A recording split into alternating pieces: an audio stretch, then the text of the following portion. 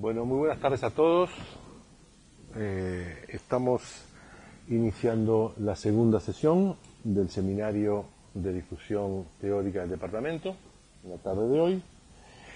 Y vamos a trabajar sobre un paper que nos presenta el profesor Pedro Isand, cuyo eh, título es Tiempo y escasez en las teorías contemporáneas de la justicia distributiva.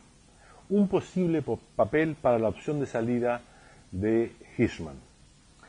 El trabajo es un trabajo que está bastante desarrollado y que eh, creo que se ubica claramente en la línea de la discusión en torno al contractualismo, eh, lo cual me alegra mucho porque eh, en nuestra carrera y en nuestro departamento el tema del contractualismo ha sido trabajado desde hace varios años y ya estamos llegando a un buen nivel de acumulación de discusiones y de papers sobre la cuestión.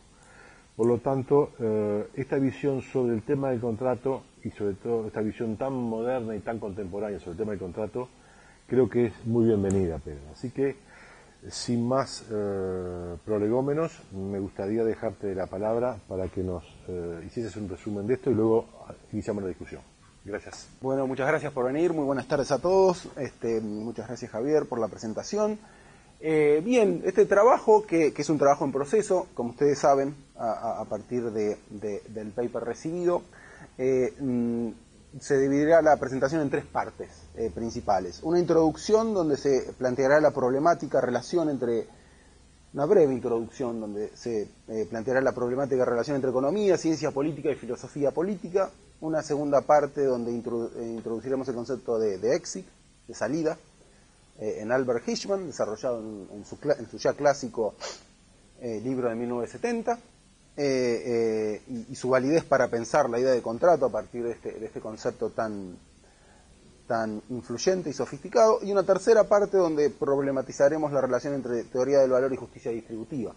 Y en ese sentido habrá que, obviamente, primero definir a qué nos referimos con, con teoría del valor, ¿no? algo que está que está mencionado en el texto, pero no explicitado. ¿no? Insisto en que eh, al ser un trabajo en proceso, asume, asume cosas que no, que no, eh, que no desarrolla del todo y que eso eh, es parte de, justamente de dicho trabajo en proceso. Bueno, la primera parte, primero, una mención a la relación entre economía y ciencia política. ¿no? En algún momento se, ha institucionalizado una creencia, en algún momento del siglo XX, a, mediados del siglo XX, en cuanto a que hacer una rigurosa ciencia política, hacer una rigurosa ciencia política consistía en introducir regresiones y ecuaciones, en el estudio de la lucha por el poder, por ejemplo. Este, a partir de algún momento del siglo XX, de mediados, incluso antes de mediados del siglo XX, eh, la ciencia política fue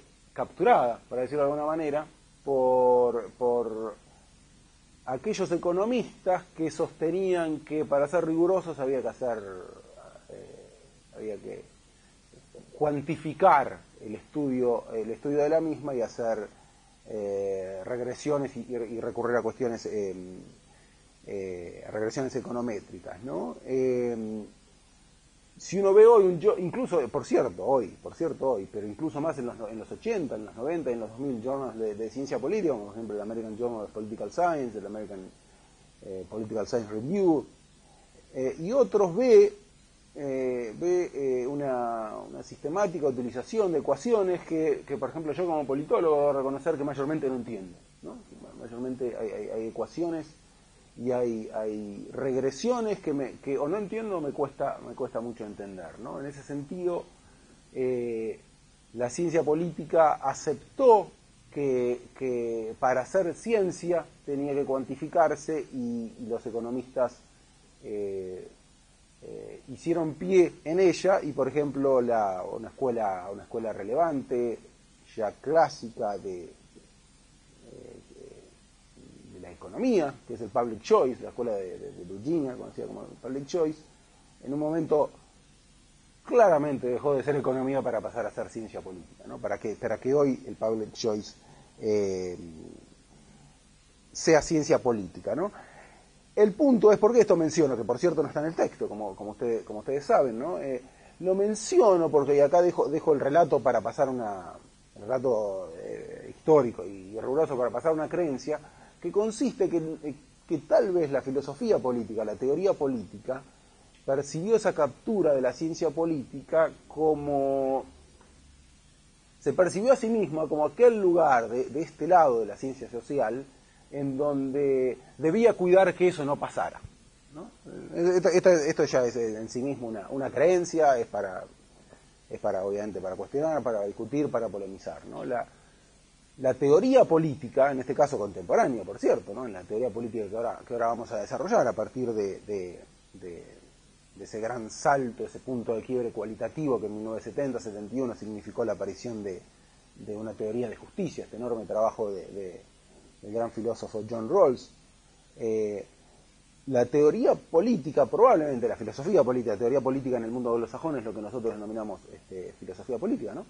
Eh, la filosofía política tal vez se pensó como aquel ámbito en donde se iba a hacer análisis político, donde se iba a hacer justamente teoría y filosofía política, ajeno a ese lugar que fue capturado por la economía en la ciencia política, que es una cuestión sistemática de, regresiones y ecuaciones. ¿no? Lo digo esto como, como introducción, eh, como primera introducción para después, para, para pasar a esta segunda parte eh, e introducir, e introducir el texto, el texto en, sí mismo. ¿no?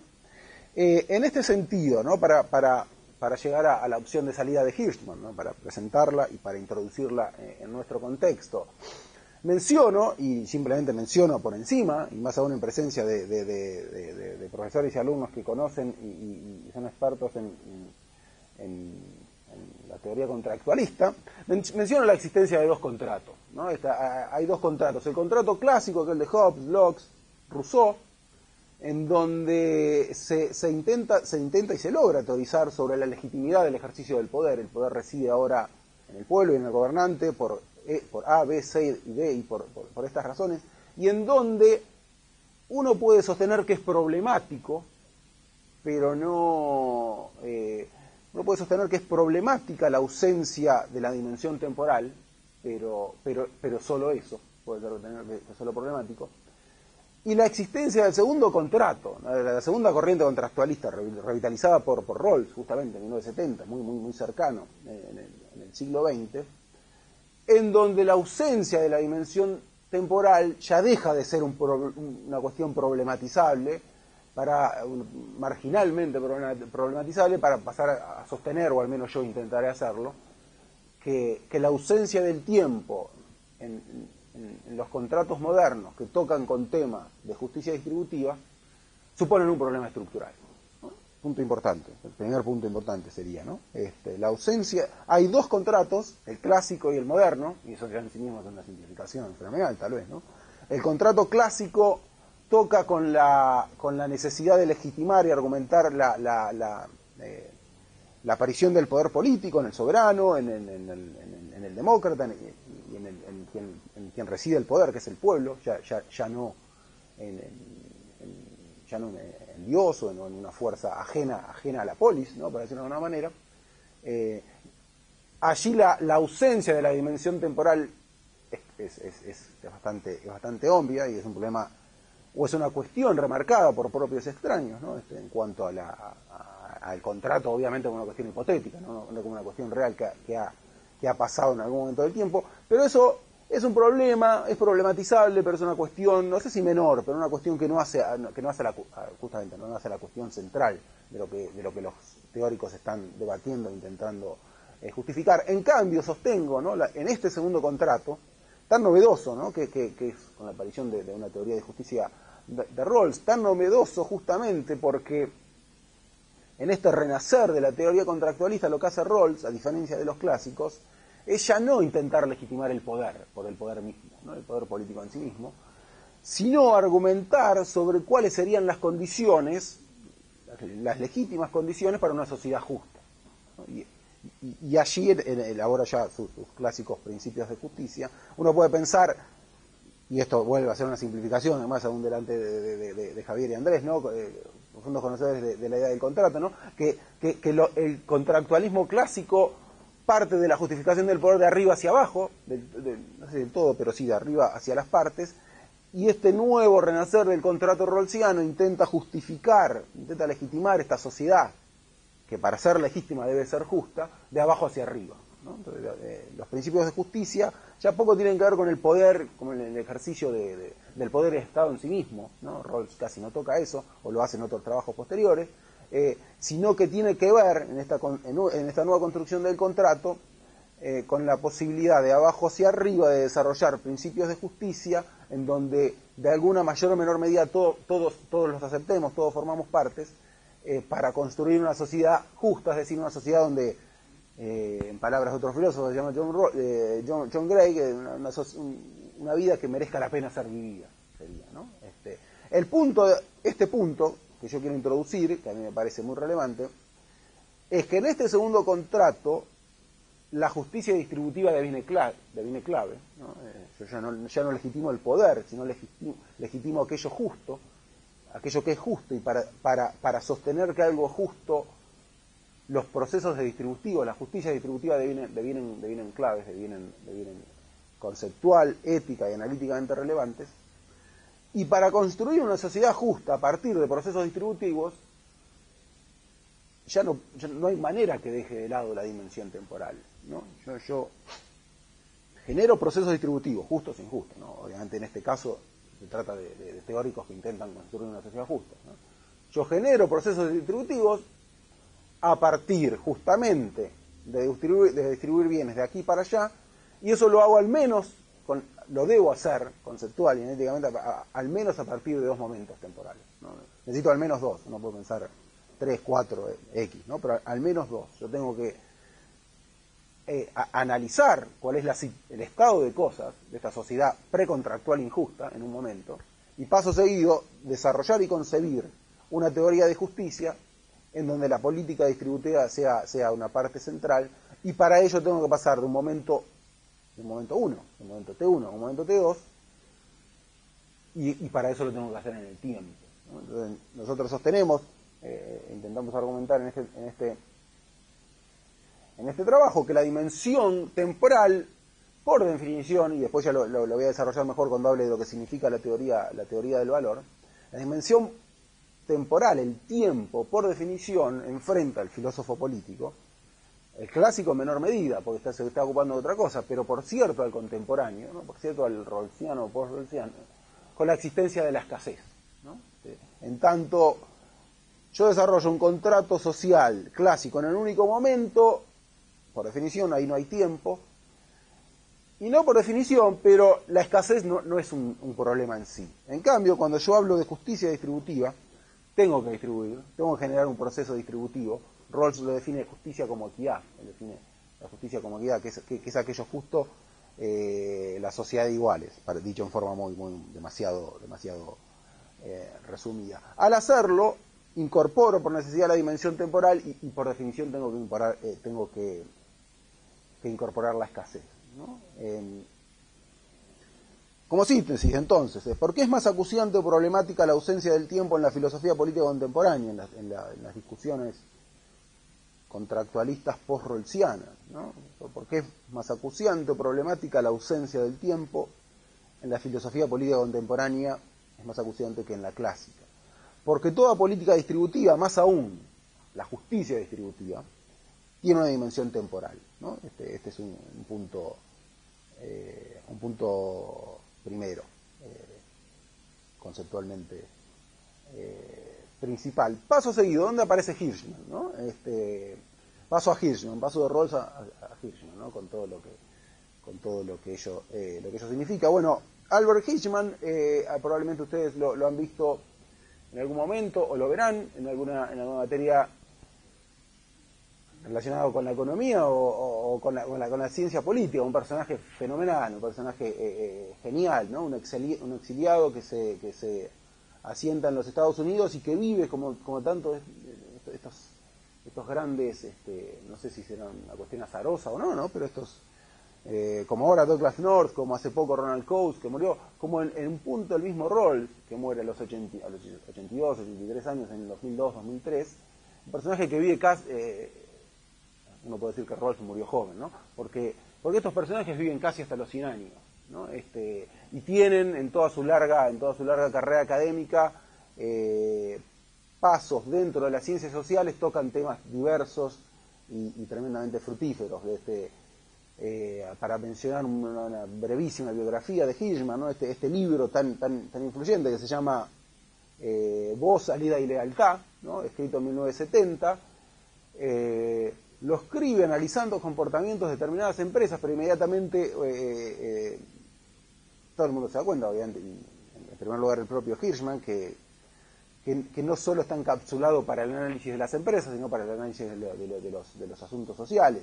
Eh, y, bueno, ¿qué era Hirschman? Y bueno, era un economista, pero, pero claramente era un, era cientista social, era una persona con, una, formación filosófica y politológica muy fuerte, que por ejemplo vivió, vivió mucho tiempo en Colombia, ustedes a lo mejor lo han visto en algún trabajo que ha hecho eh, eh, contratado por el Banco Central de Colombia, conocía profundamente América América Latina, por ejemplo, eh, gran amigo de, Alejandro Fox de, y de Fernando Enrique Cardoso. Digo esto porque cuando Cardoso llega al poder en el 94 en Brasil, el día antes cena, por ejemplo, cena en su casa con tres personas, cena en su casa con, eh, ahora no me acuerdo la tercera, pero básicamente con Alejandro Foxley, con, con, eh, con, Albert Hirschman, con una tercera persona muy importante que en este momento me estoy olvidando. Pero básicamente la dimensión, eh, lo que quería mostrar, y solamente estoy terminando, es una persona, bueno, muy importante, este, que en algún momento se me lo, voy a recordar. Pero básicamente para mostrar la dimensión no solo académica, sino de, la influencia en la ciencia social y en la política contemporánea de, eh, de Albert Hirschman. Otro gran libro es Las pasiones y los intereses, ¿no? otro, eh, gran libro de Hirschman, su obra es, profundísima. Entonces pasemos entonces al, concepto de salida, ¿no? ¿Cuál es la relevancia? ¿Por qué es tan interesante este concepto? Porque lo que dice Hirschman, pensando en empresas y en, situaciones políticas problemáticas, es que las personas, ante una situación, ante un problema, ante la aparición de un problema, pensémoslo en términos de una sociedad, eh, pueden utilizar dos mecanismos, el de la voz o el de la salida. En una determinada situación crítica en una, en una sociedad, eh, las personas podemos alzar la voz y en el espacio público demandar un cambio. Uno puede, pensar en términos de una democracia, alzar la voz sería presentarse como alternativa ante el gobierno vigente. Entonces yo como en una democracia en donde hay una situación, donde hay determinadas situaciones problemáticas, hay determinados grupos que están disconformes con lo que está pasando, y las reglas de juego son tales como para que a mí se me permita alzar la voz. Yo alzo la voz, eh, me presento como alternativa y evidentemente seré o no aceptado como tal, ganaré o no las elecciones. Ante la imposibilidad de la acción de voz, yo estoy en una situación aún más complicada en esa empresa, o básicamente en nuestra sociedad, a partir de, nuestra, de nuestro ejemplo, y en ese caso no me queda otra que recurrir a la opción de salida. Yo tengo que irme, ¿no? Yo tengo que irme porque justamente estoy en una situación, en una situación eh, problemática, en una situación crítica, y no puedo eh, hacerme escuchar por el poder, porque hay un poder despótico, porque hay un poder incapaz de canalizar las demandas a través de la voz. Entonces ejerzo la opción de salida y me voy, ¿no? Por ejemplo, y, todo esto, paso seguido a partir del trabajo de Hirschman, tiene connotaciones más que interesantes, ¿no? Porque, por ejemplo, para eh, llevémoslo a un ejemplo, un clásico ejemplo, ¿no? En la, América Latina contemporánea, la, los acontecimientos en Cuba. en Cuba viene la revolución, que triunfa la revolución y los opositores no tienen la capacidad de hacer oír su voz. Eso que podría devenir problemático para el régimen, porque podría tener una creciente porción de la población disconforme y articulándose políticamente, por ejemplo, como para, para, alzarse contra ese régimen, tomó la connotación justamente en Cuba de ejercitar suficientemente la opción de salida. ¿Cuál fue la opción de salida en Cuba? Miami. ¿no? Este, esa opción de, mayormente Miami, ¿no? los Estados Unidos o el exilio. ¿no? El exilio, pero el, cercano exilio en un lugar eh, políticamente tan distinto, es interpretado desde el régimen, o para aquellos que, que, estudian el régimen, como una manera de generarle estabilidad al propio régimen. El, el, régimen potenciaba, incentivaba la opción de salida de, las, de los disidentes, y al hacerlo salir y al ser tan sencillo que se ejerza esa opción de salida, evitaba que se conformen dentro de la, de la isla eh, una oposición creciente, dinámica, articulada. Una, de las obvias aplicaciones de la ausencia de una, oposición cohesionada y crecientemente articulada y sofisticada dentro de Cuba es la, facilidad con que propios extraños podían ejercitar la opción de salida. Este, ese es un, un típico ejemplo. Ante la imposibilidad de alzar mi voz, determinados grupos, determinados sectores salen. Este, la dinámica que yo les, les, muestro con este ejemplo, válida, muy, muy, muy, muy relevante, en determinadas cuestiones, el propio interesado en facilitar una opción de salida es el propio, por ejemplo, régimen autoritario y totalitario, que al, al facilitar esa opción de salida justamente debilita la opción interna de voz.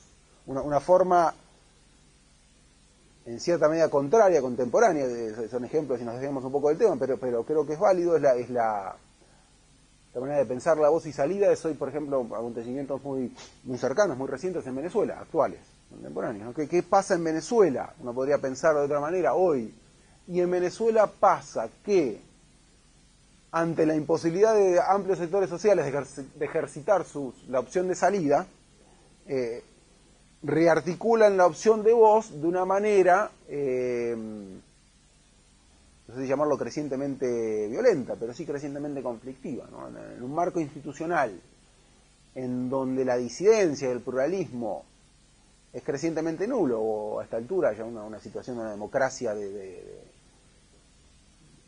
ni, siquiera plebiscitaria, ya no de bajísima calidad, la opción de voz que determinados sectores de la población venezolana quieren ejercer, lo hacen de la manera que vemos hoy en las calles de Caracas y eventualmente en un, de Caracas y de, y de, todo el país y eventualmente en una forma ante la imposibilidad de articular y de generar un marco para esa voz eventualmente la, la, la, la, opción a la voz en Venezuela puede tomar una connotación una connotación violenta ¿no? bien bueno dicho esto era para para para para introducir este concepto tan relevante de Hirschman casualmente, eh, azarosamente, eh, elaborado en 1970, ¿no? paralelamente, obviamente, con, la, teoría de justicia de, Rawls, eh, mayormente, y esto, y esto es lo interesante, y este es en relación a mi primer punto, entre relación entre economía y ciencia política, y teoría política en este caso, sin, sin tocarse, ¿no? en un diálogo al que, al que Hirman estaba impuesto, ¿no?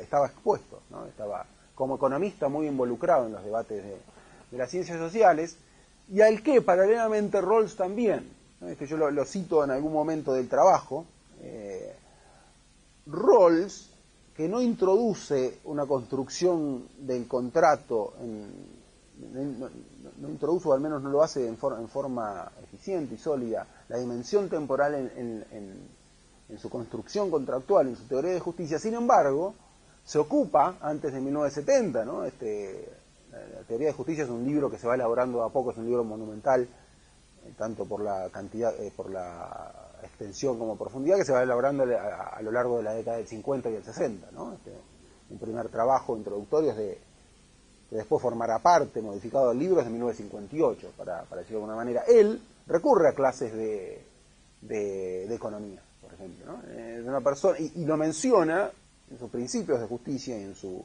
justificación menciona, por cierto, el concepto de escasez. En ese sentido es aún más, más llamativo y relevante por qué no, no lo profundiza y por qué, como ahora veremos, ahora intentaré eh, mencionar, no desarrolla una teoría de justicia. ¿no? Una, una, pregunta, una pregunta para mí central. ¿no? Este, paso seguido. Cuando yo introduzco aquí eh, en la idea del contrato y en la idea del contrato más, más contemporánea, la opción de salida, a la Hirschman, es necesario mencionar que la opción de salida no necesariamente debiese aparecer ante un problema. Para Hirschman sí, yo ejerzo la opción de voz y de salida solo cuando en mi, en mi organización o en mi país se genera una situación crítica o problemática. La, dimensión que yo le quiero dar a la, a, la, opción de salida a la Hirschman, y espero que haya quedado claro, eh, eh, probablemente debe, debe ser más, eh, precisado en el trabajo, no es ante un problema, no es necesariamente ante un problema. ¿no? En una situación, en una situación, en un momento T inicial, la opción de salida no supone la existencia de un problema, sino simplemente supone la existencia eh, de un ámbito justamente consensual o contractual en donde es, es eh, un poco artificioso, difícil pensar que justamente que ese momento inicial tenga que tener un, consenso total. Me, explico, eh, eh, intento explicarme de mejor manera.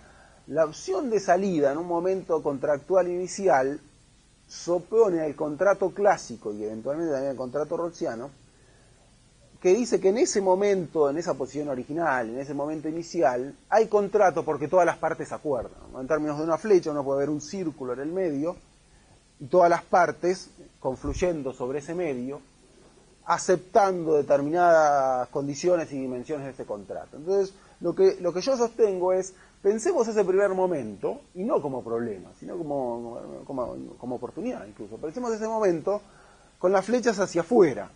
¿no? Eh, ¿Por qué? Porque es más realista en términos de...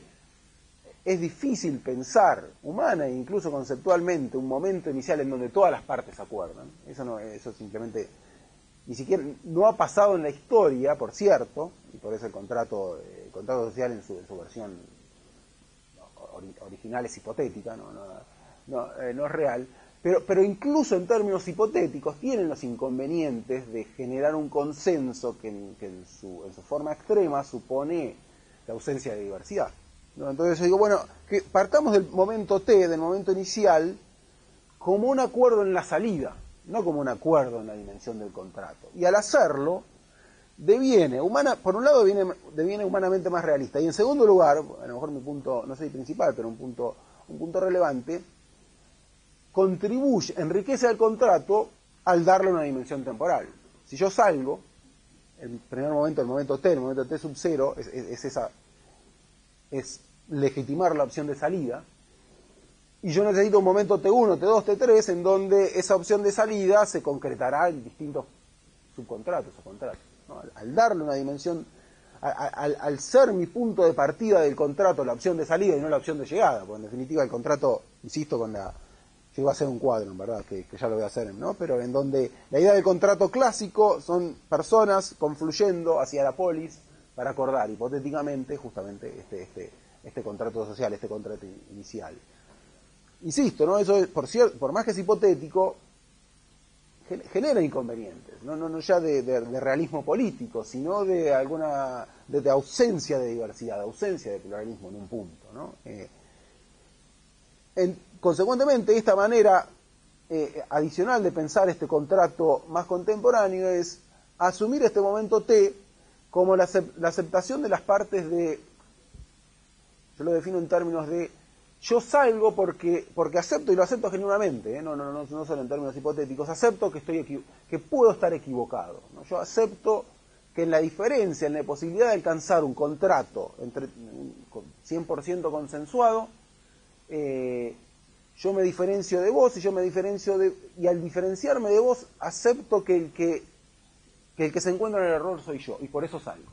¿No? que tiene una dimensión política ética más, que, más que relevante. ¿no? Yo eh, ejerzo mi legítima opción de salida a partir de aceptar que debo salir, porque quien debe quedarse piensa distinto que yo y esa persona que, que se va, que es eh, hipotética, ¿no? que se va a quedar, eh, se encuentra en el, acierto o, dicho de otra manera, el que yo, yo acepto la, la, la, real posibilidad, concreto esa real posibilidad de estar equivocado. Y al estar equivocado, eh, ejerzo mi legítima eh, opción de salida. Eh, entonces, como síntesis, ¿no? este, síntesis de esta segunda parte, podemos pensar la opción de salida como el primer momento de un contrato. Esto tiene beneficios conceptuales y analíticos. Por un lado, evita la necesidad de alcanzar un consenso demasiado, amplio, ¿no? este, en un punto irrealista. Por otro lado, incorpora la dimensión temporal. Esto es clave para pensar la justicia, eh, eh, la justicia como equidad. Entonces pasemos a, a, la última parte, una parte este, eh, en donde será necesario explicitar mm, a qué nos referimos cuando hablamos de una teoría del valor. ¿no? ¿Por qué la filosofía política contemporánea, la post-Rawlsiana, no se ha cuestionado la necesidad de explicitar una teoría del valor? Eh, Porque ha partido de la existencia de un, stock que se encuentra allí injustamente distribuido y por ende listo para ser redistribuido. Me explico, ¿no? En la filosofía política clásica, en alguna dimensión en, esta, el contractualismo rolsiano, como hay un solo momento, hay un único precio o valor de las cosas, porque no hay percepción subjetiva, subjetiva posible de los bienes en cuestión por parte de los actores. Este, ¿qué, ¿Qué significa todo esto? Entonces, ¿por qué para hablar de justicia distributiva, por qué para hablar de, del trabajo desarrollado por Rawls, de la, fenomenal, el programa de, investigación de Rawls, uno tendría que primero desarrollar una teoría del valor. ¿Y a qué nos referimos eh, con teoría del valor? La teoría del valor clásica, que incluso tenía Adam Smith, no solo, no solo por cierto Marx, ¿no? este, el gran exponente, pero, pero Smith y Ricardo, sostenían que, y en, algún, alguna medida todavía sigue vigente en un punto, sostenía que las cosas valen por el trabajo eh, hay una, teoría objetiva del valor. Las cosas valen por el trabajo, por el tiempo eh, que una persona o, comunidad le dedica a confeccionarla. Entonces, en la teoría clásica del valor, en la teoría objetiva del valor, si una silla me llevó a mí eh, dos, horas, dos horas de trabajo y una mesa me llevó cuatro, eso supone que esta mesa es igual a dos sillas. Esa es la teoría clásica. Y esa teoría, en un, en un momento estática, en un momento, en un momento si, no incorporamos la dimensión temporal, es incluso hasta en un punto inexorable, porque yo, ante la ausencia de la dimensión temporal, no tengo que justificar y no tengo que argumentar de dónde vienen y hacia dónde van, para decirlo de alguna manera, los bienes, y hacia dónde va el, valor. En cambio, ¿qué pasó en la década de mil, mayormente en 1870? ¿no? Hubo lo que se llamó la, la revolución marginalista, que brevemente, dicho, dicho en forma muy breve, desarrolla una teoría subjetiva del valor. ¿Qué descubren los marginalistas? Y para esto necesitan el tiempo y, la y el tiempo y ahora veremos la escasez. Descubren suena un poquito pretencioso, ¿no? Pero, pero en verdad articulan y definen y en cierta medida comprueban, ¿no? Los marginalistas en, tres lugares distintos, además es muy interesante porque mayormente en 1870 y 71 en tres lugares distintos, gente sin conexión entre sí, llegan a, llegan a, conclusiones muy, muy, muy similares.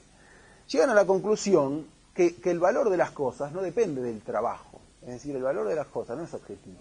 Esto, esto no vale eh, no vale en sí mismo. Si yo le dedico cuatro horas para hacer esta silla, esta mesa, y dos horas para hacer cada una de esas sillas, no se sigue ni remotamente, no se sigue de, ninguna manera que el precio de esta mesa sean esas dos sillas si esto, si esto vale, me ha llevado a hacer cuatro horas y eso, cada una de esas sillas dos, para los clásicos, que era tan obvio que esas dos sillas eran igual al precio de esta mesa y ese era un precio justo, para los marginalistas eh, demuestran, y lo demuestran en forma eh, contundente, que las cosas valen, que el valor, que la teoría del valor, y esto es clave para pensar después la justicia distributiva, este,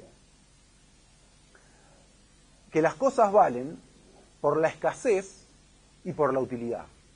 ¿No? Y ustedes lo pueden pensar en términos propios de, todo lo que hacen en la vida, ¿no? Porque es este, eh, ¿por, qué ustedes demandan, por qué ustedes van a, la esquina y demandan este un bien, una, gaseosa, un, lo, que sea, ¿no?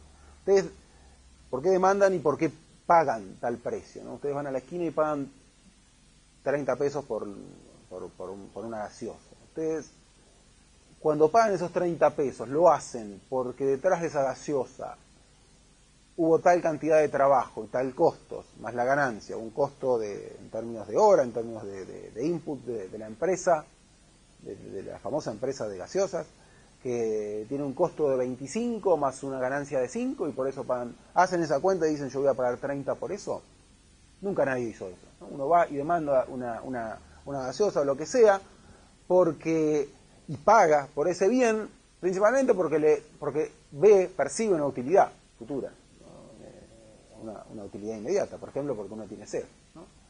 Y, efectivamente, ante la utilidad, eso tiene un precio, es decir, eso es un bien económico, porque es un bien escaso.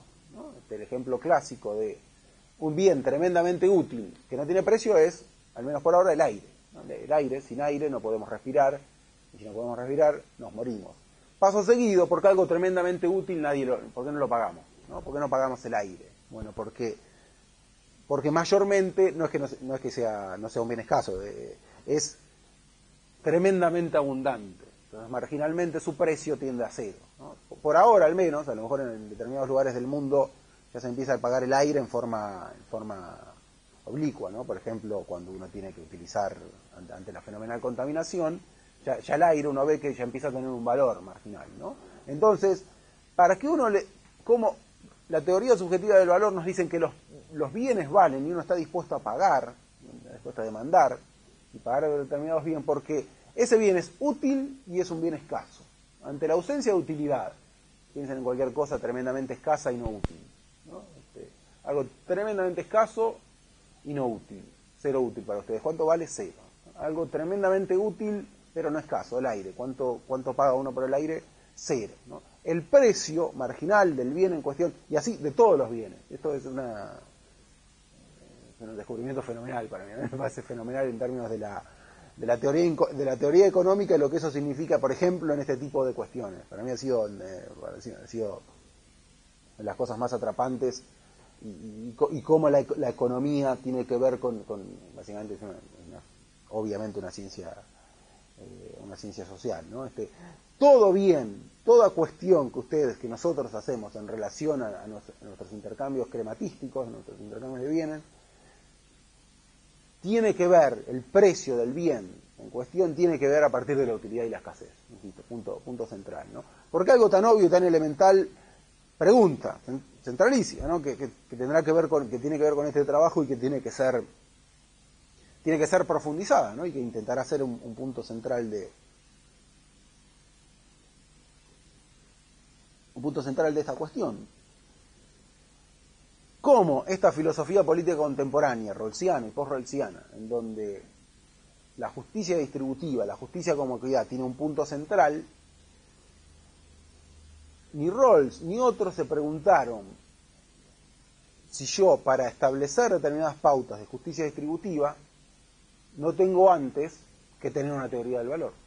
Esta es la pregunta para mí centralísima, ¿no? que, intentaré profundizar en, posteriormente en este trabajo y que, y, que, y que es el punto o uno de los puntos centrales de la discusión. Cuando Rawls y otros filósofos políticos contemporáneos definen lo que es justo y lo definen como igual y asumen políticas distributivas que hacen que alguien que tenga determinados bienes deba distribuir parte de esos bienes a otro para tener bienes mayormente iguales, al definir igualdad, yo estoy asumiendo una teoría del valor.